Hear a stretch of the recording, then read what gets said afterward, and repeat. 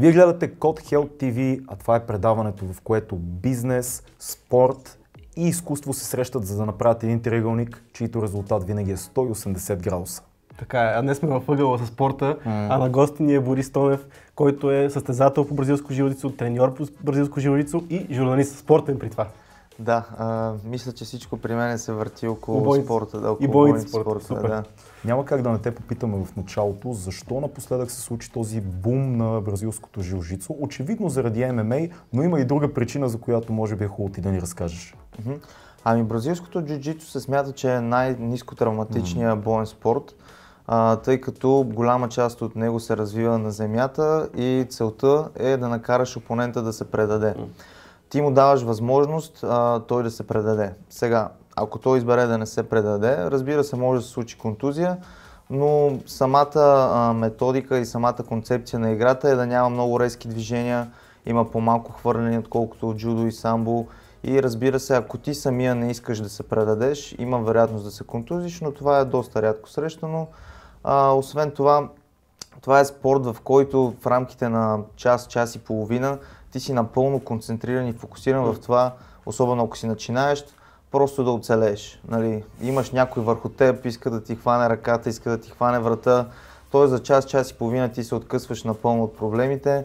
А, има физически контакт. А, нали, ако се чувстваш така изнервен или ядосан, пак можеш да, а, така да си го изкараш на другия, но по един по-галантен, по-елегантен начин. Галантен начин. Да, а, нали, няма удари М. в бразилското джуджицу. Така че мисля, че това, че е ниско травматичен, но въпреки това е боен спорт, в който има агресия, го правят доста привлекателен дори за хора, които не искат да а просто искат да се откъснат от ежедневието и да направят нещо добро за тялото си и за ума си. Но някои хора, които са гледали компилации, примерно на бразилско жилжицо, са виждали, освен ключовете, които нали, там трябва да се предадеш, но са виждали едни хора как приспиват други хора. Това опасно ли е и до каква степен е опасно, ако е? Ами да, ако избереш да не се предадеш а, или ще се получи някое щупване или а, изкарване на някой крайник от правилното му място или ще заспиш. Сега, ако хватката бъде задържана повече от 10-15 секунди след като си заспал, а, да, може да е опасно за здравето, но обикновено след като притока на кислород до мозъка ти спре или рефера се намесва или другия опонент спира и буквално след 3-4-5 секунди отново си на крака, все едно нищо не се е случило.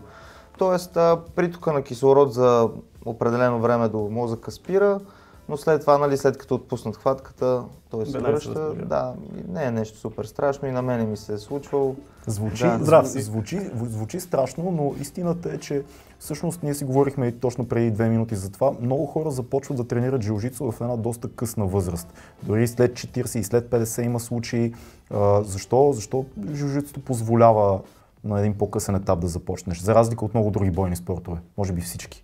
А, да, ами Да. първо, защото нали, няма удари в главата, не, не, не поема щета нали, за мозъка. Знаем, че мозъчните клетки не се регенерират. Нали, ако работиш лицето си, може да го запазиш така сравнително красиво.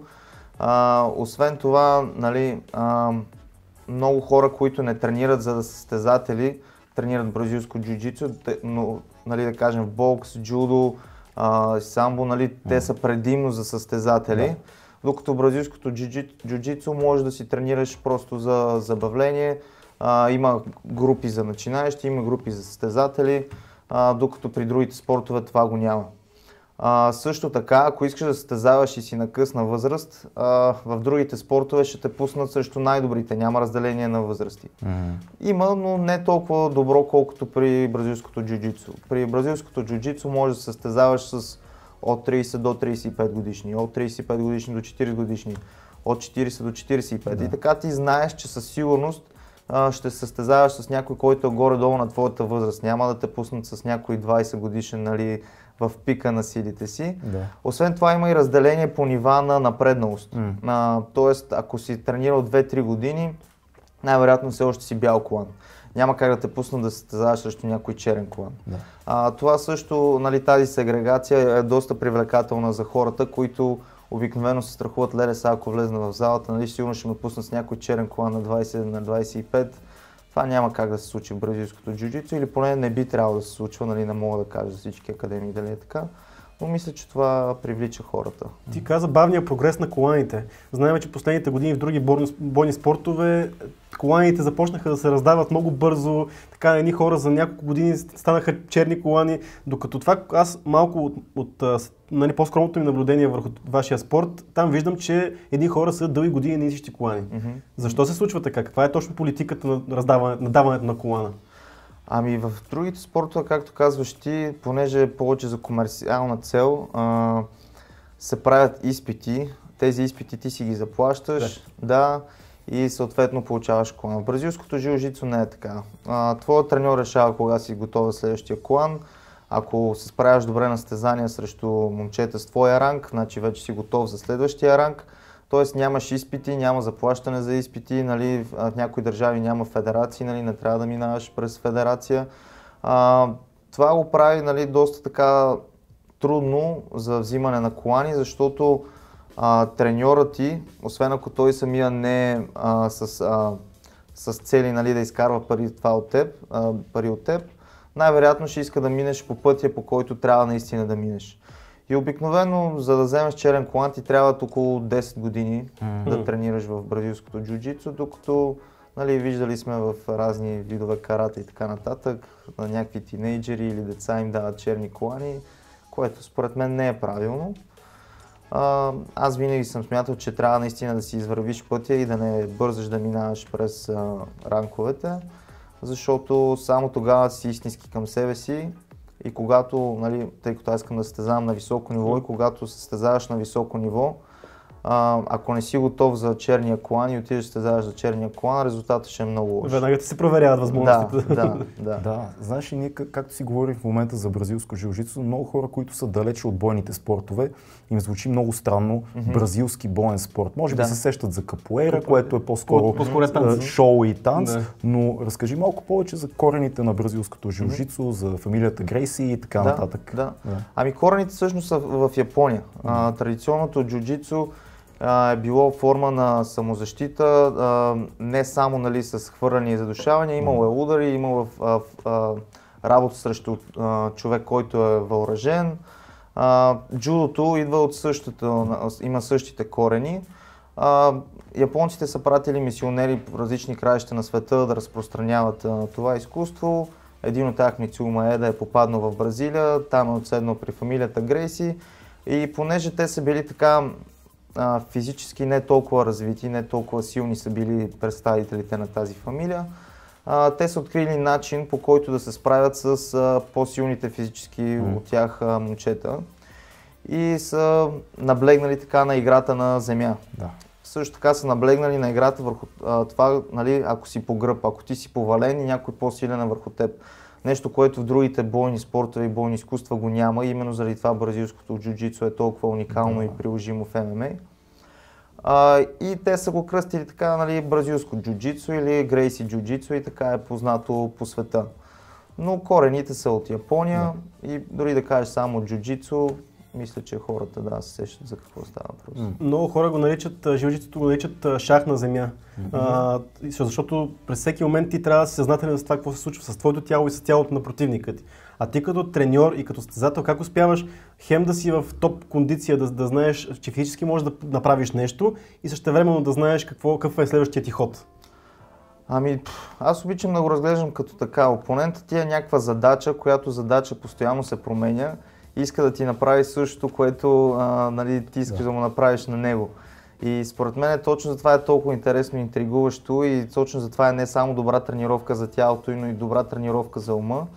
А, мене винаги са ми харесвали бойните спортове, именно а, защото са като игра, нали, не, са, не са просто да вдигаш танги или нещо такова. Но, нали, сега Прието е да се казва нали, в болните изкуства, че използваш енергията на другия, силата на другия, дори да е много по-силен от тебе. Ако знаеш правилната техника, ще го победиш.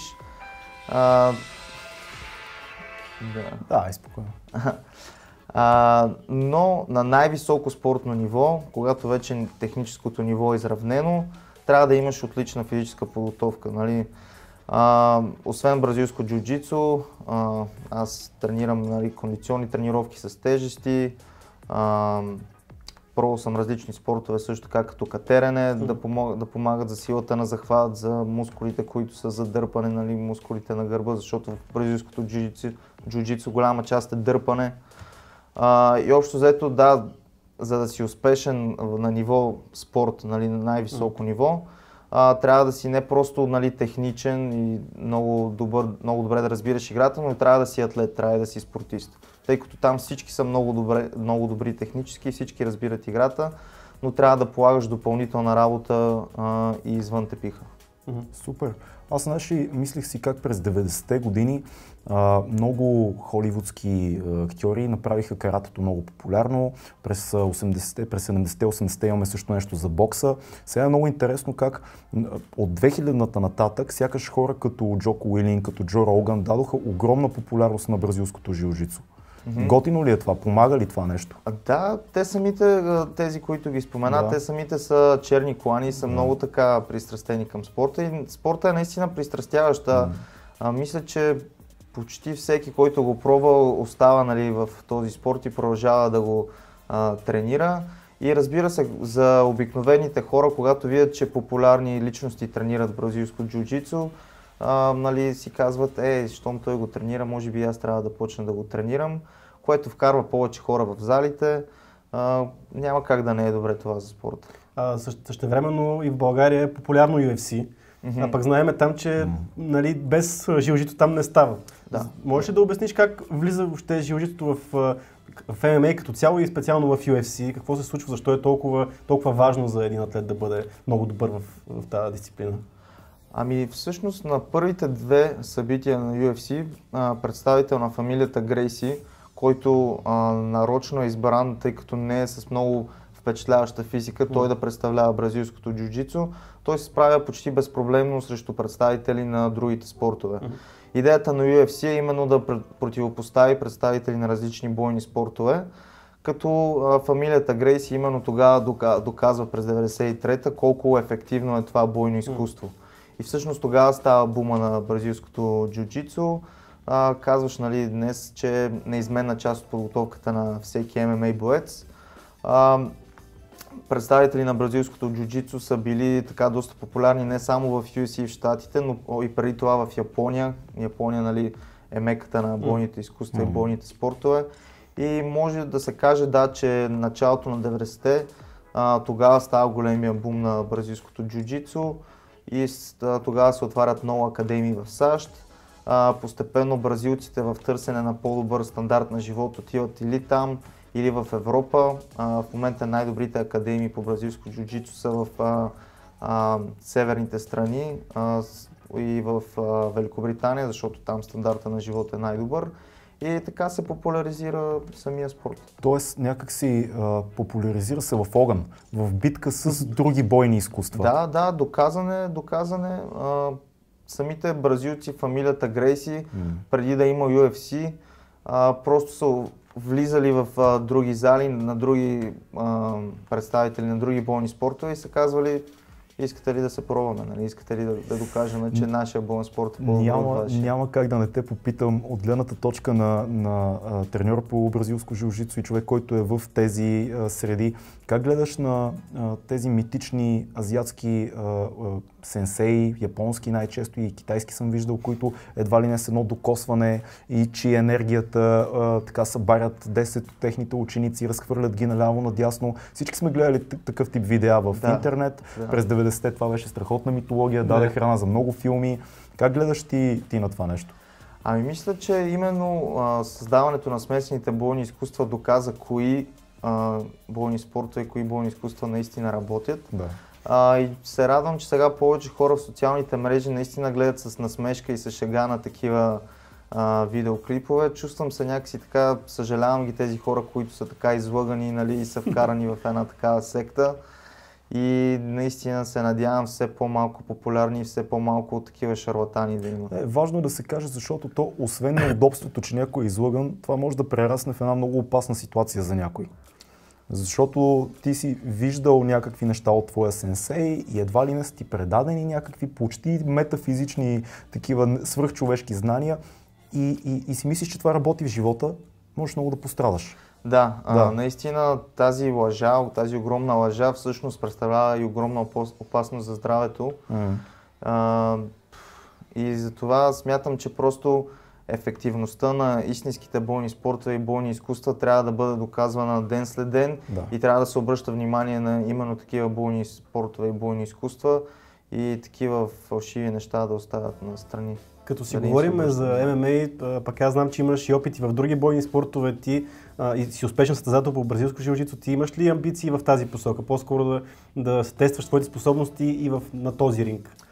А, да, но първо искам да стигна до черния клан Мгм. в бразилското джуджицу, искам да си извървя пътя. А, разбира се, после, за да имам добра визитка, нали, а, бих искал да се докажа и в а, ММА. А, като цяло състезанията и самото нали, състезаване е доста стресово нещо, нали, освен за ума, а и за тялото, нали, Мгм. цялата подготовка. Но пък ако искаш да наистина името ти да говори за теб, смятам, че няма как да, да го пропуснеш това. Не искам да съм от тези треньори след време, които нали, не са постигнали никакви неща, но се пишат нали, голямата работа. И затова смятам, че когато си стигна черния колан, тъй като не искам сега да се отклонявам от пътя нали, Мгм. бразилското жилжицо, защото в ММА трябва да се концентрираш и върху бокс, кикбокс, нали, Да. а, много неща са. А ти имаш опит с бокса, нали така? Да, в гимназията, да, няколко състезания по бокс имам. А, след това един ден в залата ги нямаше боксерите, видях, че тренират бразилско жилжицо и граплинг и си викам, ах, как някой ще ме накара да се откажа, нали? Никакъв шанс да, да тупна, нали, да се предам. 10 минути по-късно с двете ръце така тупам и си казах, че трябва да го науча това нещо, нали, няма как. Със сигурност сме загубили тотално женската аудитория за, за този епизод, затова няма как да не те питам вечния въпрос, кое е най-приложимото бойно изкуство на улицата? При теб, вероятно, между бразилско жилжицо и бокс, аз с много мои приятели, които са така в бойните спортове сме говорили, много често разговор отива повече към бокс, а, заради липсата на защита при бразилското жилжицо винаги се намесват много хора отстрани, когато сте на пода, но какво е твоето мнение? Ами според мен бразилското жилжицо а, е доказано много добро в ситуации, когато сте един срещу един. А, доста голяма част от тези случаи стигат до земята по един или друг начин. Дали неволно или волно, сега ако си представител на жилжицото, ще искаш да пренесеш боя на земята. Сега вече, когато става въпрос за някакво масово сбиване или като има много хора около тебе, Както става винаги на улицата. да, според мен, да, ударните спортове са доста добре приложими, но а, бразилското джуджицу е замислено именно като за самозащита и затова нали, носим кимона. Кимоната за едно репрезентират дрехите на улицата. Да. А, понеже не може да носим нормални дрехи на тренировка, нали, ще се скъсат, затова носим кимона. А, впоследствие, за да се адаптира за ММА, поч, почнахме да тренираме и без кимона. А, но мисля, че бразилското жилжицу има така и приложимост а, в случай, когато има нали, много а, нападатели, с които трябва да се справиш, нали, да контролираш някой от тях, а, да завършиш, нали, да, да го приспиш или да му щупиш нещо и така нататък. Сега в момента, сега ли е момента пика на бразилското жилжицо, защото виждаме така множество зали, поне в София. Знаем, че има школи във Варна, в... Пловдив, Бургас, да, да. има много школи. Сега ли е пика специално в България на, на този спорт? Ами да, както повечето неща в България, малко по-късно нали, става популярно бразилското жилжицо. Мисля, че някъде през а, 2005-2006 започва да се появяват първите клубове. И сега наистина никога не са били повече клубовете, никога не е имало повече и по-често състезания нали, преди периода с COVID. А, имаме така успешни състезатели на разни големи турнири, но разбира се, а, все още не можем да се конкурираме с САЩ, с Бразилия, нали, с а, по-развитите страни в Европа, така че имаме още много път да извървим, докато стигнем така, дори средно ниво в бразилското жилжицо. Да. Много хора, които ни гледат, вероятно могат да останат с впечатление, че бразилското жилжицо е просто боен, боен спорт. Защита, както каза ти, но разкажи малко повече за философията, която седи за това нещо. Той идва от Япония и има и доза философия там. Ами така както аз го виждам, това е изкуството да установиш толкова огромно количество контрол над чуждо човешко тяло, че да му дадеш възможността или да се предаде, или не. Сега някои хора могат, може да го виждат просто като боричкане, нали, както се боричкаш а, Да. с брат си. Да. Но философията е както във всеки, всяко едно болно изкуство и всеки един болен спорт. Всеки ден да ставаш все по-добър. А, 1% по-добър дори нали, да ставаш всеки ден. А, да не се състезаваш с другите, да се състезаваш с себе си. А, а именно, понеже самия спорт има толкова много техники, постоянно се появяват нали, много техники, нови развития. Да. Имаш толкова много захвати с кимоното, без кимоното, нали, за разлика от бокса, в който имаш примерно 13 удара, нямаш повече, нали. А, тук постоянно излизат някакви нови техники и ти няма как просто да спреш да, да се учиш. Постоянно излиза нещо ново, постоянно някой а, има по-добър от тебе. Тоест ти просто не трябва да, се, да спираш да се учиш и да вървиш по пътя. А, това, че си стигнал черен колан далеч не означава, че ти вече си научил всичко. Даже те първа тогава започва играта.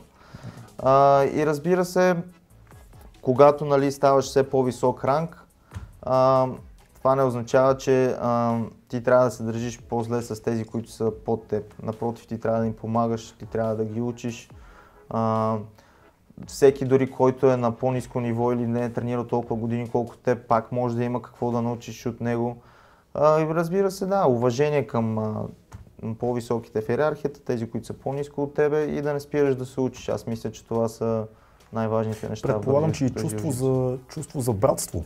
Защото от всички мои приятели, които са свързани с този спорт, аз знам, че е много силно комюнитито, което е около теб, когато тренираш. А, да, а, повечето зали а, има такова нали, усещане, нали, Да. защото всеки ден ти се трудиш с тези хора и нали, всеки ден леете пот, нали, всеки ден се борите много здраво, но когато тренировката свърши, вие отново сте приятели, нали, ходите заедно по състезания, викате един за друг, сваляте килограми един с друг. А, и няма как, нали, когато се трудиш с някой всеки ден, Да. няма как да не станете близки. Между другото, в много спортове това изчезна. Особено тук в България аз съм наблюдавал, че това братство изчезна в много от спортовете. Пък е аз наистина съм бил в тяхната зала и виждам Да. как наистина са брати и приятели. Има една... Е, даже той е лист хартия, който е залепен на стената, в който първо се поздравявате с вашия Да. си поздрав и след това се хващате и се хвърт. Нали, смисъл, винаги е, има го това уважение, обаче сме там за да се сбориме. Да, когато е тре- тренировка, нали, тренираме усилено. Разбира се, не искаме да контузим М. другия, но просто за да се подготвим, нали, за да симулираме това, което ни чака на състезание, няма как да не... се пазите много, много да, да- да. А, няма как да не спомена, каза състезание, няма как да не спомена нещо, с което твоя клуб а, Боен клуб Левски София се подхвана на инициатива да прави едни такива интересни евенти, Pro Grappling Invitational, в който Мгм. каните едни от най-добрите атлети в този спорт. Можеш ли да разкажеш как дойде идеята, как се развива, какво се случва, какво ни очаква изобщо? Мгм. Ами първото такова състезание се проведе през септември, като, тъй като по време на първия локдаун аз тренирах така доста усилено по апартаменти, мазета, поляни, където намерих с когото намерих, нали? И знаех, Това че... е малко опасното, че където намерих, с когото намерих, пострадали са разни хора. да. А, само са отборници, да. Да. И а, знаех, че това е периода, в който трябва да натисна гъста и ако другите си почиват, аз трябва да съм готов. М. И обявиха датата на първото голямо състезание, която беше някъде октомври и аз си казах, че трябва да си направя генерална репетиция за това. Но само, че трябва да се съобразя с мерките, т.е. без публика, а, само състезатели и треньори. И си казах, окей, ще събера 8-те най-добри момчета в моята категория, да се поборим, а, няма да има публика, ще го излучваме, хората сигурно ще искат да го видят. И вече се получи много добре първото такова състезание, доста добри отзиви. А, второто съст- състезание ти вече беше с нас. А, бяхме поканили вече такава повече момчета от различни клубове. А, с кимоно, без кимоно имаше битки. А, второто събитие се получи още по-добре. И третото, което беше последно за миналата година, за първи път успяхме да съберем 16 от най-добрите състезатели в една дивизия. А, тя беше абсолютна дивизия, т.е. без значение от килограмите. Може примерно 60 кг да се падне срещу 100 кг в още първа среща. А, и това беше нещо наистина невиждано. Имаше и парична награда, което нали, доста рядко се вижда по нашите ширини. А, и сега последното, четвъртото издание, а, го направихме в стил а, бойна гала вечер за ММА, без турнирен формат, просто всяка среща за себе си. Имахме и международно участие, а, като разбира се отново спазвахме нали, мерките, като без публика, само треньори и състезатели. И мисля, че се получава много добре. Това от доста време се прави в Штатите, правеше се по време и на локдауните. И наистина много хора а, се свързаха с мен и ми казаха, нали, това е наистина нещо много готино. В този период, тия, които тренираме, наистина това ни подейства така много мотивиращо. Чувствах се зле, не исках да тренирам повече този спорт, но като да. го гледах това, се чувствам по-добре. Между други спортове трябва да вземат пример, защото вие във времена на пандемия успяхте да създадете, такова събитие, успяхте да намерите спонсори, което пък още по-трудно в това време и със сигурност парите не са много, но щом успяхте да дадете и награден фонд, това е голямо постижение и може би трябва да се взима пример от другите спортове, защото иначе всички са дигнали ръце. Тя няма федерация, няма да. никой как да, да. се оправяме ние. Да, да, да. Ами специално за неолимпийските спортове и спортовете без федерации, мисля, че поставихме добър пример. Mm. Сега тези, които да зависят от държавно финансиране, имат федерация, знаем, че те си имат календар а, и просто са свикнали на един ритъм и малко е заспало при тях. Нали. Но мисля, че такива формати, в които, нали, понеже ние се опитваме да включим а, и хората чрез социалните мрежи, да ги ангажираме с анкети, нали, според вас кой ще победи, колко нали, събмишена ще има в а, това издание. И смятам, че това да се ангажират хората, нали, да има такава платформа, в която те могат да коментират на живо, да седят от вкъщи нали, и да гледат. Mm. Смятам, че е много полезно за популяризирането на всеки спорт и наистина всеки, всеки може да го направи. Okay. Има и друг аспект на твоята личност, който е интересен. Ти си пишеш човек, ти си спортен журналист. Къде е разликата между това да си част от спорта и да пишеш за него, да го отразяваш отстрани? Ами, тъй като аз се занимавам, да, с журналистика, но съм е тясно свързана с болните спортове, аз не го усещам като работа и, и така двете неща много ми се приливат и връзките, които имам в болните спортове, създадени ми помагат много в другата работа, която имам. И смятам, че двете неща наистина вървят ръка за ръка. Аз като почнах да уча журналистика, почнах да уча, защото а, първо, че изпита не беше като изпитите за право и за разни други специалности. А второ, че просто от малко обичам да следя спортни статистики, репортажи, анализи. А, и, и благодарение на това нали, а, имах възможността да запозная с много големи имена в спорта и да взема интервюта от тях. И така, да, всичко ми се върти около болните спортове. Не, много е, много е готино това, че казахме, че учиш журналистика и си свързан с писането толкова близко, защото Стереотипите са нещо, което ние се опитваме да разбиваме с това предаване mm-hmm. и с всичко, което mm-hmm. правиме. И е много лесно някой да пусне и да каже, сега някаква батка да ни говори тук за ММА, всъщност ти си човек на словото, освен всичко друго и, и тия неща са много, много важни за нас. Mm-hmm. Хората са многопластови и е много тъпо един човек да се вижда само от едната му страна. А, да, друго нещо, което източните бойни изкуства, нали, именно това проповядват е, че образованието и спорта а, не трябва да са разделени, а напротив трябва да вървят да. За, ръка за ръка а, в училищата, вече не само в Япония, но в Обединените арабски емирства, те също са така доста големи фенове на бразилското жилжицо. Там вече е въведено задължително се тренира бразилско жилжицо, при армията също, в полицията, нали. А, в Япония си имат цели университети, които са за, за джудо, нали. И според мен а, не трябва да се прави голяма разлика и не трябва да се разединяват спорта и образованието и трябва да вървят ръка за ръка. Това е много ценно, което казваш. Само искам да вметна, понеже се присетих нещо много важно. Джок Уилинг имаше една идея покрай инцидента с Джордж Флойд, който се случи в Штатите. Той каза, всичко това може да се избегне, ако а, за всеки един служител на полицията в Штатите е задължително да тренира и жилжицо. Mm-hmm. Тогава да, това с цялото да. нещо можеше да бъде избегнато, защото да. ти познаваш вече механиката на човешкото тяло. Да. Да. Имаме един а, традиционен въпрос за това предаване, който го задаваме накрая. Ще помоля много на Блиц така да отговориш как поддържаш твоето а, физическо здраве на първо място, защото все пак спорта си крие своите рискове и също така как поддържаш своето психическо и духовно здраве. Психическото и духовно здраве, здраве с а, много така тежки спаринги и много тежки борби. А, физическото с а, студени душове, сауна mm. а, и вдигане на тежести. Супер. Да. Супер, звучи страхотно. Много ти благодарим, че ни беше на гости и да разказа толкова яки неща за бразилското жилжицо. А вие останете с програмата на Code Health TV и бъдете здрави. Чао!